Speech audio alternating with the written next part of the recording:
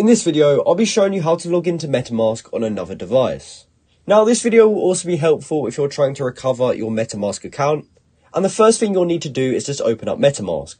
Now, for this video, I'll be showing you how to do it on my computer. However, if you are watching on mobile, do not worry because the process is exactly the same. So if you're watching on mobile, what you want to do is open up the MetaMask app. However, if you're following along on PC, you can just open up the MetaMask extension.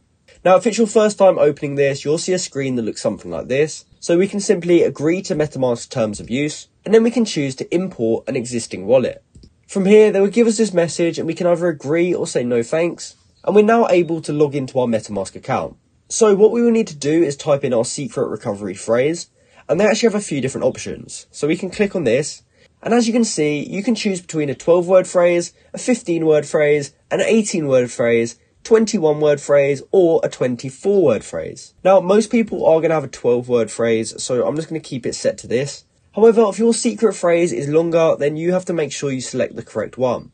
Now, if you're unsure what this secret recovery phrase is, you would have got given a string of words which are used to recover your account. Now, when you set this wallet up, they would have told you to write this down on a piece of paper or something like that, and they would have said to make sure you keep this safe.